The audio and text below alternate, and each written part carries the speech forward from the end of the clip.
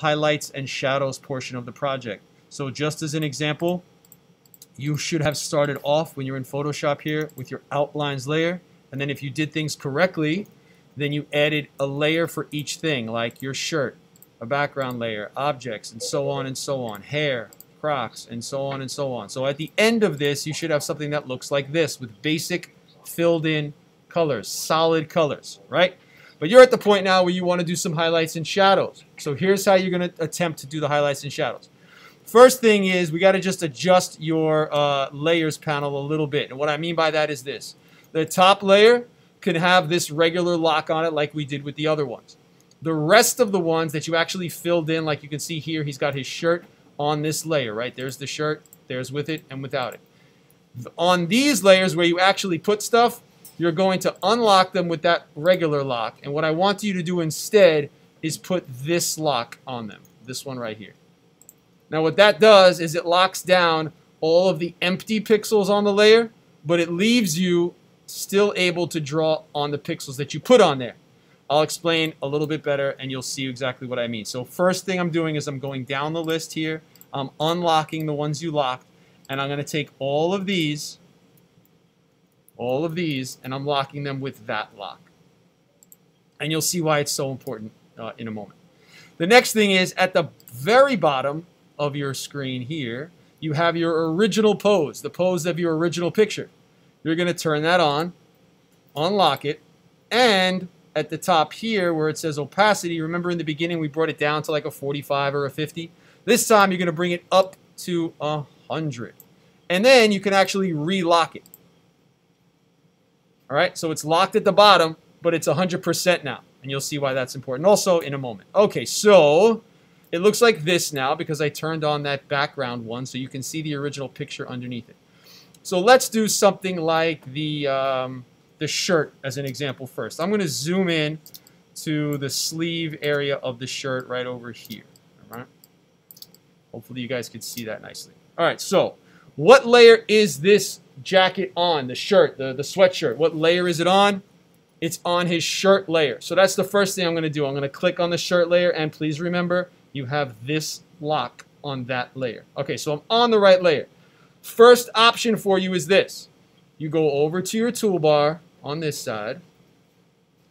And from your toolbar, you select the brush tool like you've been using when you did your outlines. So I grab that.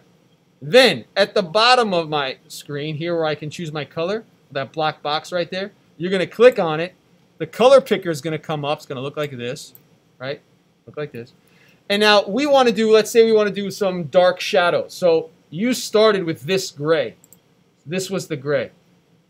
Well, let's go a little darker like that, or maybe even a little darker than that. And I'm going to click OK. So I have my brush. I'm on the layer. I have this dark gray color selected. Up at the top here, here's the only other real important part, the size and hardness of the brush. So here, if I do like a pretty big brush, and I keep it at 100% hard, and all the settings normal and 100 and 100, just like you had before. And you go over to this area and you start to paint, look what happens. If I try to paint over here, nothing happens because we locked down all of the empty stuff. But if I try to draw in here, it will let me, no problem. So I have a dark, hard brush, and I'm on the layer, and I, what I could do is just kind of st start to brush like this. Right? And I can get, now he has it all on one, all on one uh, layer, right? So I can do like this, and this, and this, and this, and I'm doing some kind of blobby, sort of hard edge shadows right now. Now those don't look great. They're a little too rough. And the brush is really big. So I'm going to undo those. But you could use a hard brush just like that. Option number two. You go to your brush, same deal, same color, but at the top here, you're going to change it from hardness of 100 to 0. And if you do it that way, now when you go back here, you're going to get, and I'm going to zoom in again so you can see better, right? You're going to get a soft looking blend. Do you see that? It's kind of fuzzy. The bigger you make the brush, the fuzzier it's going to look. See that? And I could cross that across, you know, like all of the side of you. And I could do it towards the bottom. I could do it a little bit here on the shoulder. I could do a little bit here on the hood. and I'm starting to get some dark, soft areas. So that's the soft brush. Got it? I could change the color again. I could make it like lighter. I could put some light area like over here if I wanted. You see that? So you're combining now light, midground, and shadow all with on the same layer using the soft brush. So that's an option for you too. I'm going to get rid of those for a moment to show you the next possibility. So we're still option two now. We're still on the layer, still locked the way we had it before. But instead of using the brush, this time we're going to use a tool called the lasso tool. It looks like a cowboy lasso. You're going to click on that. And then you go up to the top. You make sure you have this selected, which will allow you to do multiple selections or multiple drawings, however, whatever you want to call it. And we're going to start with the feathering at zero. And here's what happens with this one. Students tend to like this a little bit better because what happens is, and I'll zoom in so you can see, you stay on the layer, but you start to draw like this. And you can draw however you want it to be, very precisely, and you make a selection like that. You see those little selection lines, right? And then you can add to it, like I can put some over here, I can put some over here, here, here, here, here, here. You can be very precise and very accurate and then you just fill them with the color. So you take your paint bucket, which is over here on your toolbar. You choose your color. Decide, like if I want it to be a shadow, I'd go dark with it. And then I just fill it in. And if you look from afar now, and I'm going to do Command D to get rid of those dots. Command D. And you see what it looks like, guys? It's like a sharp edge kind of looking shadow drawn exactly where I would want it to be. If I do it again, which is cool, if you go to the lasso again and you change the color this time, let's say we do like a middle ground, like maybe this dark. And I draw some more like over here.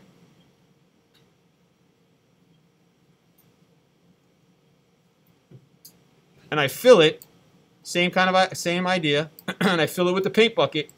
It doesn't go over the old one. It kind of adds to it. So you see that there's two levels now of shadow and you can kind of see where they both are. Okay, one more thing. One more thing. When you use the lasso tool, it has a feathering option up top right here, feathering option. If you make that option like a 10 or a 15, I'm going to put 10 in there, and then you draw with that lasso, same way I just showed you, after you draw like this, like this, like this, you draw on some kind of thing, right? And you fill it, after you fill it, here's what it looks like now. Do you see it looks soft and fuzzy? on the edge instead of sharp. That's because here I took the lasso tool and I changed the feathering up to 10. So now it'll come out soft. So you can draw with the lasso but still keep it soft if you want to.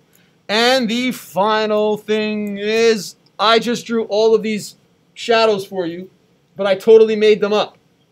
But in real life, you want to know exactly where the real shadow is. So I'll give you an example like on the leg here, okay? I'm going to move to the leg.